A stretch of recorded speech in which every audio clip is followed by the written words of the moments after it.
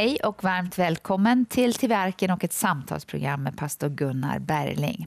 Vi har en serie och det här är del 13 i en serie om överlåtelse till Herren och överlåtelse också till Guds församling och det inre kristna livet. Ja. Om man kan säga det någonting sådär. Det, lång, en lång inledning på, på ja. romarbrevet här. Men det, är ju, det känns väldigt långt romarbrevet när vi har gjort det så här att vi tar vers för vers ja. och så dyker vi ner liksom i de här verserna. Och då märker man att det, det finns ett och annat där. Det, det, är, ju, det är ju mycket roligare alltså att eh, på det viset liksom, eh, titta efter vad som står i verserna ordentligt än att bara liksom, riva av dem, liksom, mm. läsa förbi mm. dem. Och så där. Mm. Det brukar vara man blir, man blir trött bara liksom på det eh, på något sätt. Det ger inte särskilt mycket och då känner man, eh, har man svårt att motivera sig till bibelläsning. Mm. Och samma sak är det med livet. Vi vill inte bara riva av det här livet Nej, utan vi vill, vill eh, liksom, landa i det och ja, leva, leva det. det riktiga livet, det sanna livet. Ja, det är sant. Mm. Vi har kommit till vers 13, eller? Ja, vi ska ja. börja där. Ja, och eh, vi, vi kan ju läsa försiktigt några verser så, får vi, så, så, får vi se var vi hamnar. Ja. Eh, då är det hjälp eh, de heliga med vad de behöver. Var ivriga att visa gästfrihet. Välsigna dem som förföljer er och välsigna och förbanna inte. Gläd med dem som är glada och gråt med dem som gråter. Mm. Om man skulle kunna tänka sig att eh, ta den där, den där lilla biten då först. Då, då. Och eh, ja, alltså det, man kan väl säga hjälpa de heliga med vad de behöver. Det är, det, det är ju inte precis bara någon slags stöd åt helgon eller så om man tänker i de banorna. Utan, utan de heliga är ju alla troende. Att man är liksom intresserad av att, liksom, att, att hjälpa varandra och eh, hjälpa varandra så att säga inom församlingen eh, med det som behövs. Och eh, då, där är det ju väldigt mycket konkret typ av hjälp som man, som man pratar om här i början. För att församlingarna var ju liksom både eh, utsatta och pressade och förföljda och, och, och vad säger, ot, otillåtna eh, också. Så att man, man, man hade mycket tryck på sig och sen hade man många, många församlingsmedlemmar var ju också väldigt fattiga och, och eh, kanske eh, utan något arbete som gav särskilt mycket inkomst heller och sådär. Och det var, det var, eh, det, det, var svårt alltså på, på, för många, hela livssituationen. Mm. Och eh, vi, eh, det, man var inte attraherad. Det var ju sällan de här eh, vad ska jag säga, nya strömningarna eller som, som kristendomen var, var inte så attraherad utav rikare folk eller folk som hade kommit upp sig i samhället och så. Utan de var allierade med liksom den vanliga religionen och den godkända religionen och den som backades upp av samhällets toppar och sådär. Och eh, därför så, så blev det ju så att, att eh, eh, man behövde stötta varandra helt enkelt. Och man behövde göra det väldigt, liksom väldigt konkret. Man hade ju många olika typer av gemenskap säkert som liksom innebar också att man delade med sig liksom man hade bröd, säkert brödutdelningar och, och såna här saker i församlingen. Man hade, man hade måltider också som man, där man, där man eh, inte bara hade liksom en slags nattvardsmåltider som var lite mer symboliska måltider, liksom förbundsmåltiden, utan också sådana måltider där man, där man åt alltså helt enkelt för att man behövde äta. Mm. Och, eh, det, det, och, så, eh, och så gäster då, som man behövde ta emot. I Rom var det speciellt för dit kom ju ändå en hel del folk eh, från hela eh, världen som man kände det då, då, kring Medelhavet och de kom på, till Rom i olika ärenden och de som var kristna då sökte upp den kristna församlingen och sökte gemenskapen där och sökte säkert också att få husrum där så de kunde övernatta och sådär. Så att vi, vi, vi, det är mycket sånt där som rent praktiska saker som liksom ändå, eh, säga, man, man, man utgick från att alla måste vara med på noterna här nu och hjälpas mm. åt för att det här ska kunna fungera. Mm, mm. Så det är en kristen grundtanke. Ja. Eh, ibland är det mer välbärgade tider eller människor och ibland så är det fattigare och, och svårare ja. tider. Men, men grundtanken är densamma. Ja, det är det. Och, och eh, det är ju först liksom när man blir de välbärgade liksom tiden för Guds församling, de, de, är, de är ju liksom ofta då när, när, när kyrkorna har blivit så att säga erkända av hela samhället så kommer också de, väl, de som är välbärgade in i de här eh, eh sammanhangen. Annars så håller de sig undan från dem.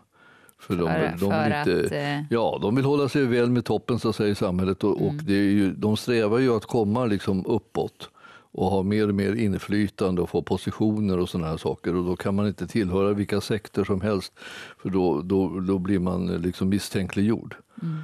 Och så att, så att det, det, det, är nog en, liksom en ganska vad ska jag säga, automatisk liksom, skeende här som att man aktar sig för vissa saker men håller sig liksom, mm. och först sen när, när man blir rumsren så börjar man liksom komma då.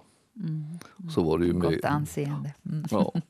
Så att det här är det, här är det. Och sen det här med alltså gästfriheten är ju liksom att ivriga att visa gästfrihet. Alltså det är liksom, då tänker man ju liksom säga att det här ska inte vara någon, någon, bara någon påtvingad grej så här utan det ska vara någonting som man ska vara angelägen om.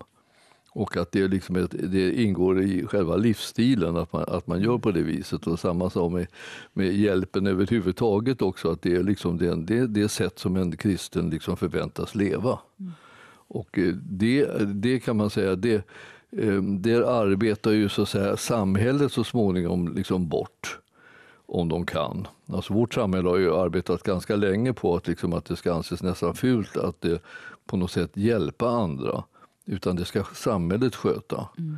Samhället ska hjälpa de som inte har husrum och samhället ska hjälpa de som inte har pengar. Och eh, då, då, då ska man inte behöva komma där och, och, liksom, och på något sätt vara beroende. Liksom, utan utan eh, då, då griper samhället in, då, då ska det vara så här, då är det utan skam på, påstår man. Uh, nu är ju inte det så i, i, i, verkligheten utan det kan ju kännas väl så förnedrande att även komma liksom och, uh, söka hjälp så säga, i samhället. Även om inte det var meningen så blir det ju så att man kommer ju där och då är det massa regler och lagar som gör att, att, uh, att, att det känns som att man kryper ändå lite grann.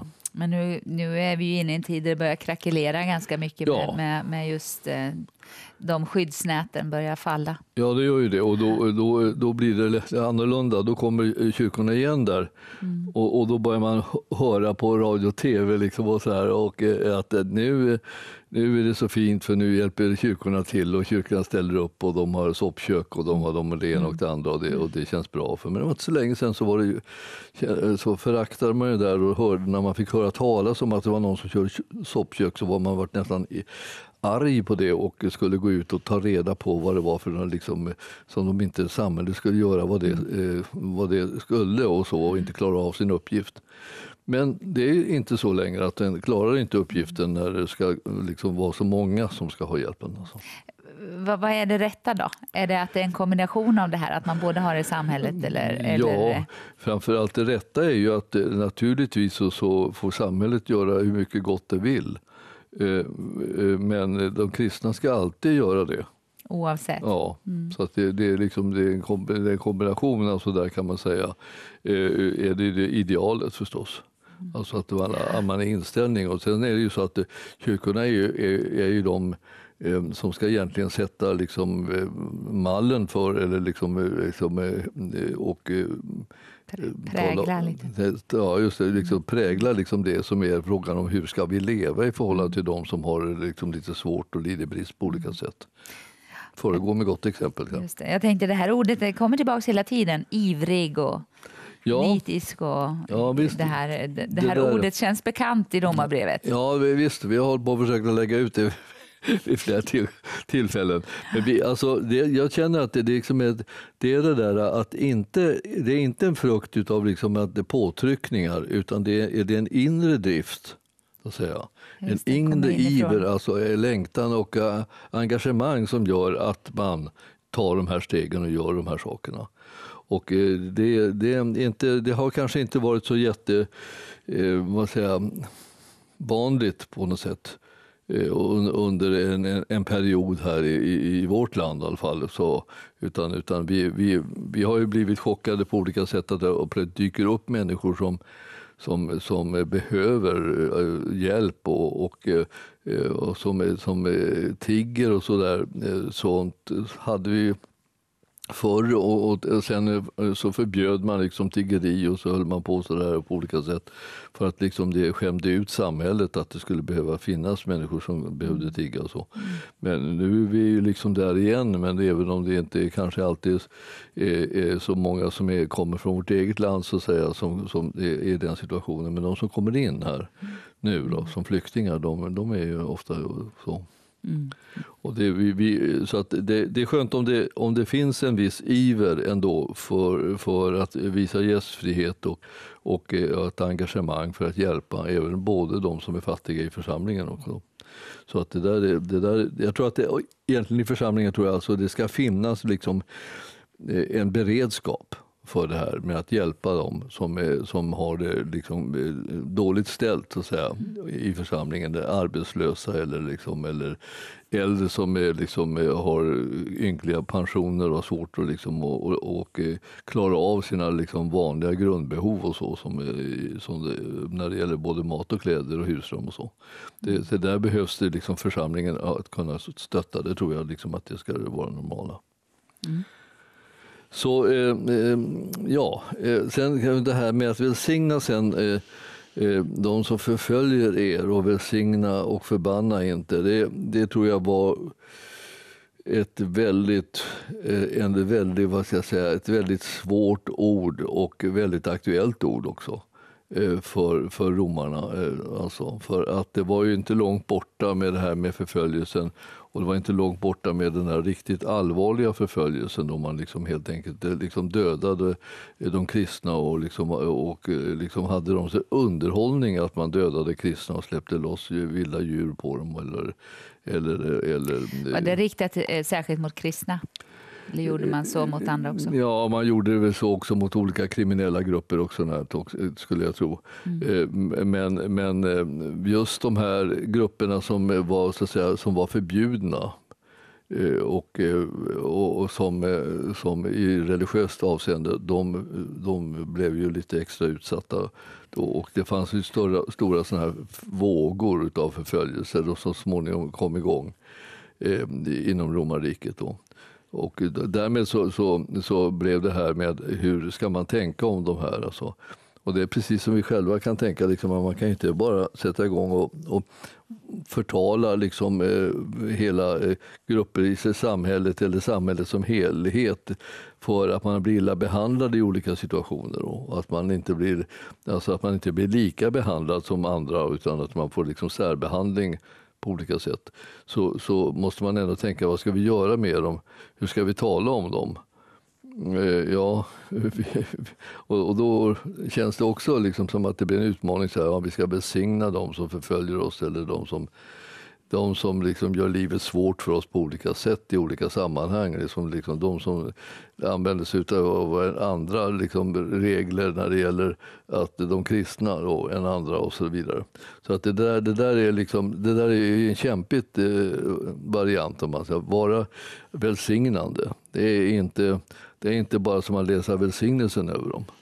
Utan... Nej, nej, men nej, man tänker ordet sådär, man vill konkretisera det ja. lite. Vad kommer det att betyda för mig i ett specifikt eh, läge? Sådär, vad, ja. vad, hur tar det sig uttryck? Ja, alltså, och, och det, det, jag tror att det är liksom just det som man egentligen Alltså det, det, handlar ju egentligen om, om, om att, eh, vad man, hur man talar egentligen om det. Om man talar väl, alltså om man mm. säger någonting mm. gott om dem. Eller, och, eh, men, men själva ordet, ordet som sådant, när det är på svenska här, eh, blir ju att alltså, signa betyder ju att jag ger tecken. Eh, jag ger ett gott tecken, alltså sätta ett gott tecken på dem som, eh, som, som man talar om. Då, att liksom genom det talet så, så, så på något sätt så, så eh, det märker man ut dem med någonting, någonting gott. Liksom så. Mm. Och eh, fasten då gör illa mot den. Och det här att göra, det, det, är precis det här som vi kommer in på sen, sen att, att man ska liksom göra gott mot dem som gör ont. Det, det, det är liksom en slags demonstration av en, en annan livsstil. Mm. Som inte bara handlar om att man hämnas liksom de, de oförrätter som man råkar ut för. Mm. Det blir ju självklart gott mot dem som man gör gott emot, ja. men vad, vad, gör det med en själv att man lever så? Ja, att göra det med en själv, det, det, är naturligtvis någonting som det, det räddar en från en massa förruttn, in, intern förruttnelse liksom, i sitt eget hjärta. Att man håller på och beter sig på, liksom, på ett hemgirigt sätt är ju liksom absolut skadligt. Och, eh, så att, att, att inte hämnas oförrätter, liksom, det är liksom någonting som vi har som livsstilsmodell också. Så, så, ska vi, så ska vi göra i livet. Och eh, om, man, eh, om man talar väl om människor så, så är, det, är det ju liksom också ett, ett exempel som gör att, att man kommer att upptäcka att vi som kristna vi, är liksom, vi, vi, har, vi har en annan drivkraft än bara frågan om liksom, hur har vi blivit behandlade. Så tänker vi behandla andra också tillbaka. Liksom, så. Mm. Utan vi, det finns en, liksom en fristående liksom, eller ska säga, eh, drivkraft eh, som, som motiverar hur lever vi hur väljer vi att tala, hur väljer vi att handla mot människor? Det, det kommer någon annanstans ifrån än bara från hur de har behandlat oss. Ja, en så, fristående ja. drivkraft på det sättet ja. att vi behöver inte bli påverkade av det där. Utan Nej, utan vi kan vi fortsätta kan liksom att välja vårt, liksom vår, vår, vår väg och vår, vår, ge sig efterföljd så att säga. Mm. Att likna honom och göra som han gjorde. Mm. Och han, han, han gick inte liksom därhen att han liksom höll på och förtalade människor. Så därför så är, känner vi att det här har vi, en, här har vi ett, annorlunda, ett annorlunda liv och som vi ska leva. Och, eh, och det är ju dessutom så här, i den här motsatsställningen så står det ju om att det, det är motsatsen till att förbanna dem. Mm. Så att om vi, när folk har handlat illa mot oss så, så vill vi tala ut förbannelser över dem. Liksom, eller? Det, det, är egentligen att tala illa om. Ja. Eh, alltså är det så enkel översättning kan man säga det, förbanna? Ja, eller? Alltså, och eh, jag tror att, så att eh, här, på den här tiden så fanns det också så mycket, mycket närmare till det här att man såg till att man kunde få förbannelser lästa eller gjorda riktade mot olika personer och människor. Det fanns mycket okulta gubbar och gummor av olika slag som ställde sig till förfogande. Jag tror att man kunde även i templen bli hjälpta med det här att få eh, liksom, eh, förbannelser riktade liksom, mot personer. Men det existerar ju idag också, ja, fast ja, kanske ja, inte så där uttalat på det sättet att man kan gå till ett, en Nej, plats och men få liksom, det gjort. Eh, överallt där det finns liksom, kan vi säga, liksom, häxor och trollkarlar mm. av olika slag så, så erbjuder de också sådana här, då, inom vissa, inte alla, men, men inom vissa, vissa stråk så, så finns det sånt också. Så att vi, vi, vi ser ju att där, de här två liksom, liksom ligger, ligger som varandras motpoler. Då, så, så antingen så är det att man går på den här besignelselinjen eller så går man på förbannelselinjen. Så att säga. Mm. Och här är det tydligt vad vi ska göra. Ja, visst. Det, ja. det, det är uppenbart. Ja, det är, det är inte lätt, men det är, liksom, det är så vi ska göra. Ja. ja. Och att vi faller det kanske inte in i så jättemycket förbannelser liksom, över folk, men, men, men man ändå att man eh, att man klarar av det här att kunna säga någonting gott eller åtminstone låta bli eh, och låta bli att förbanna eller önska illa eh, över människor som gör en illa. Det, det, det är en viss eh, det är en viss utmaning. Då. Kan man använda eh, samma metod som vi gör med ordet, att vi talar ut ordet och att man, man kan göra det i tro innan man känner det, av det i hjärtat så att säga? Oh ja, det måste man göra, för det lär väl dröja då innan det kommer riktigt så på, på, djup, mm. på djupet då man har blivit illa behandlad. Det, det märker man ju också det, liksom att det eh, det är lätt att glida in i liksom, att tala illa om både både eh, organisationer och, och samhälls, eh, liksom olika samhällsrepresentanter och, och sådär. Eh, för att det, det, ja, man tycker först kanske att de är liksom lite, lite opersonliga liksom egentligen. De bara står för liksom en makt eller maktmissbruk eller liksom och sånt där. Så man behöver nog passa sig lite där. Mm, mm, ja. mm. Vi får lära ja. här av, av ordet och exemplet. Mm. Ja, och sen kommer vi in på det här liksom att, eh, med det engagemanget som blir för den enskilda, kanske den enskilda individen och liksom eh, för eh, liksom livssituationer som vi har. Hur vi själva upplever tillvaron och hur vi, hur vi tacklar svårigheter och glädjeämnen och så i livet. Och då är, då är det liksom ett engagemang som gör att man delar, man är uppmanad att dela liksom det, det livet med varandra. Så man kan glädjas med de som är glada över någonting och man kan gråta med de som gråter. Och det här liksom, tycker jag är liksom ofta en, en, eh, en jättefin bild på, på ett, ett, ett kärleksfull relation kan vi säga mellan syskonen också i Guds församling. Mm. När man klarar av det där med att glädjas med de som gläder sig. Liksom. Det har gått dem bra, bra för dem på något sätt. De har lyckats med saker och ting och, och de har framgång på olika områden och, eh, och de är glada och, och, och så kan man vara glad med dem för deras skull. Eh, det, det har, är liksom en slags bild av att, att hjärtat hållit sig ganska rent. Mm. Mm. Och att man inte liksom eh, bara kommer, glider in i en slags avund och, och, och, så. Eh, det finns naturligtvis sånt händer ju också men det, men det bör inte vara liksom det generella utan man behöver ju kunna dela liksom glädje med varandra. Vi har ju pratat om det mm. tidigare, liksom, att det var en konst. Ja.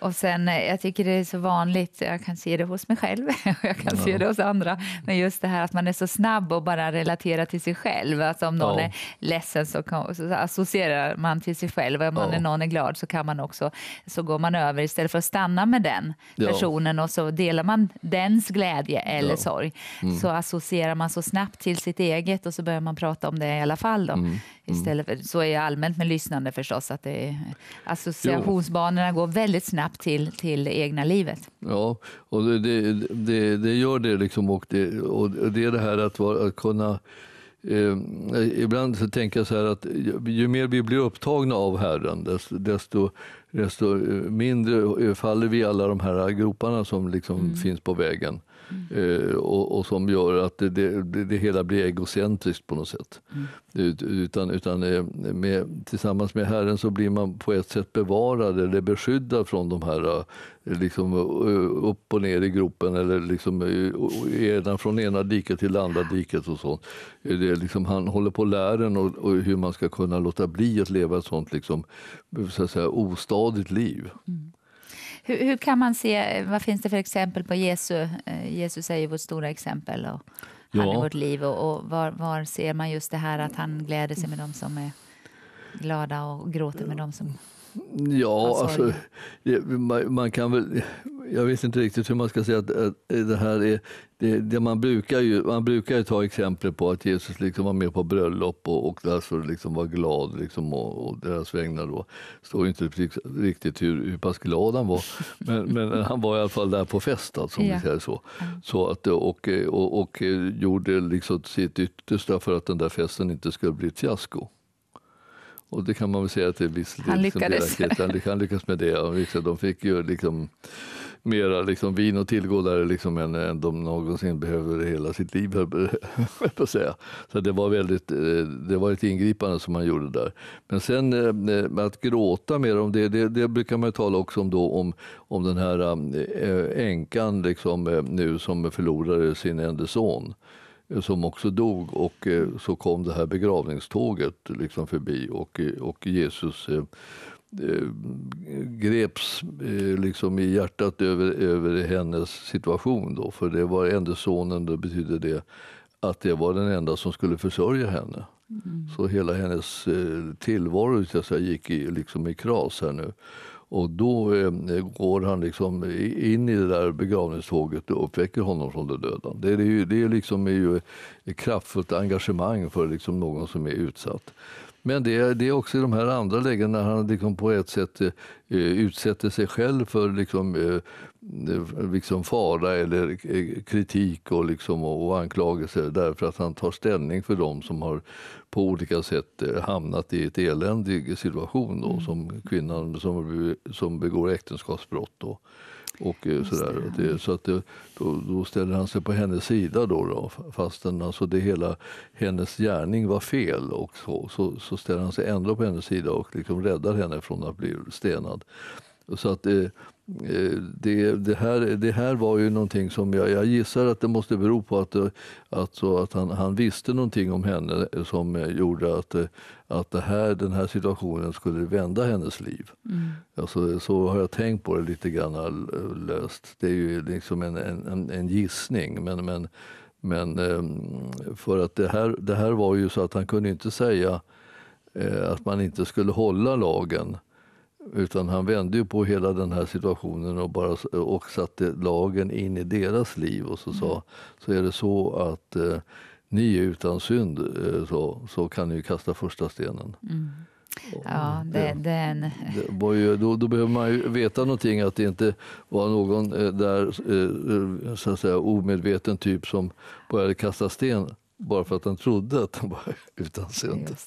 Jag vet att det här ja. är någonting som ligger dig väldigt varmt om hjärtat och du är engagerad i just ja. de här områdena. Men vi måste av, avrunda okay. och så får vi fortsätta med, nu har vi kommit flera verser här på gång. Vi, vi fortsätter igen nästa program. Tack ska ni ha för att ni har varit med oss idag. Vi kommer att fortsätta i den här serien från Romarbrevet, så häng med nästa vecka igen. Ha det så gott, hej.